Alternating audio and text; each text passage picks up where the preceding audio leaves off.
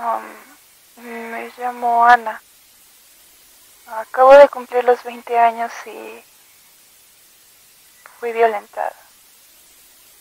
Al principio yo lo veía normal. No le daba importancia. Me empecé a sentir culpable. No solo era su manera de actuar. Literalmente todo estaba mal. En ocasiones me exalto con las personas que tienen buenas intenciones, pero me han dicho que es parte del proceso.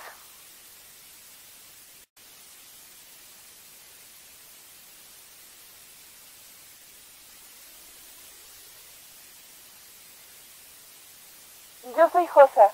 Vengo de una plaza en Matamoros. Tengo 24 años. Yo siempre he vivido en una familia conformada por hombres. Cuando yo tenía 5 años murió mi mamá. Me quedé sola con tres hermanos y un padrastro.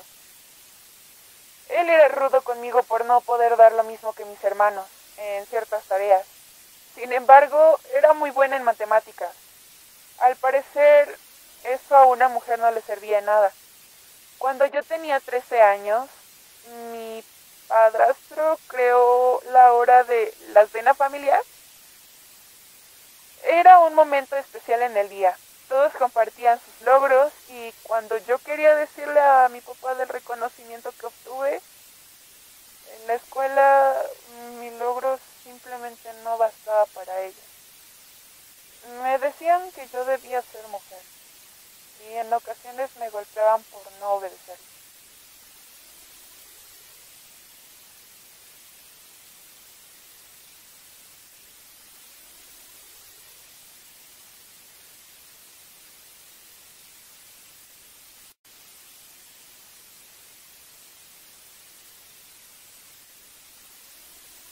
Mi nombre es Marcos.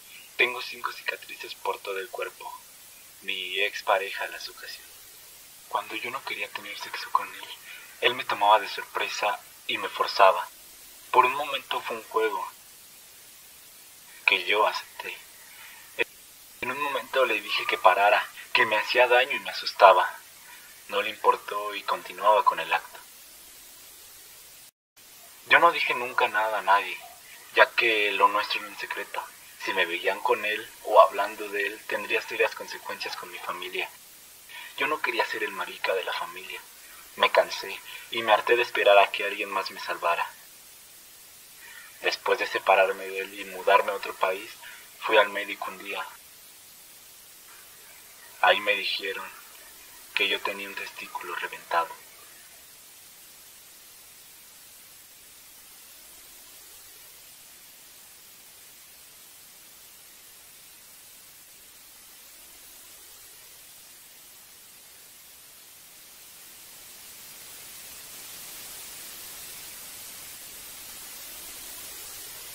¿En dónde está?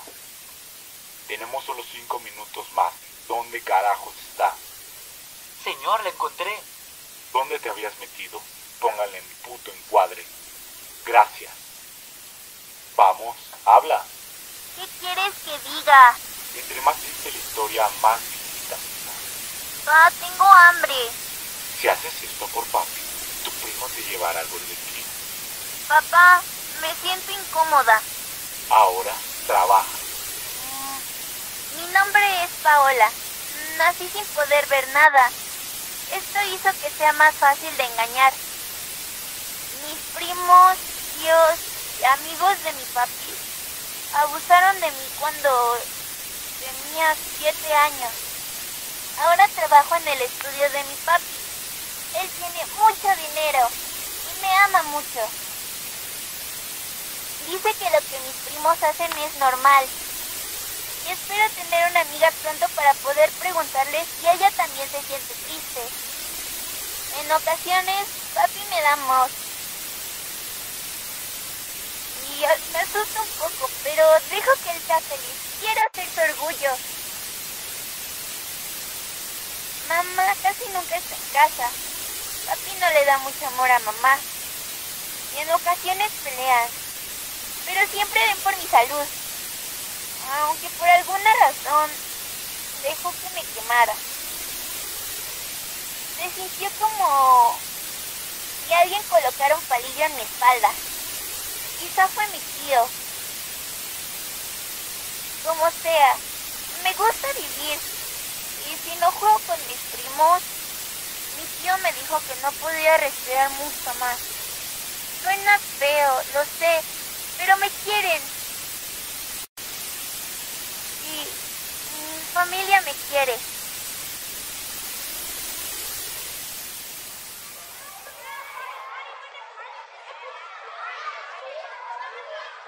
Estas fueron declaraciones de personas abusadas dentro de nuestro país, sacado de un antiguo programa de televisión que solo buscaba personas dañadas para poder generar más rating. Aunque la versión editada, y sin la parte del padre abusivo, fue removida y sacada totalmente de emisión, las declaraciones de Ana, Fosa, Marcos y Paola son reales. En la parte final del episodio podemos ver cómo el ahora fallecido director del programa maltrata a su joven hija de 13 años.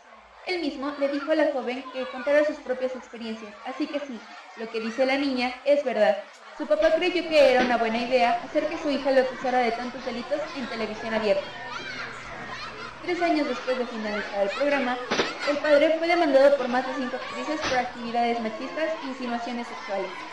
Tres semanas antes de que su hija fuera encontrada muerta en el set de grabación. Estas historias no son simples cuentos, son casos reales, que están pasando a muchas personas allá afuera y por ciertas circunstancias no fueron, no son o no serán escuchadas. Y nosotros podemos ayudar denunciando actividades que no son correctas. Para finalizar con esta conferencia, quiero decirle a todas, todas y todos, no están solas, no están solas, no están solas. No dejen pasar absolutamente nada y no se queden callados.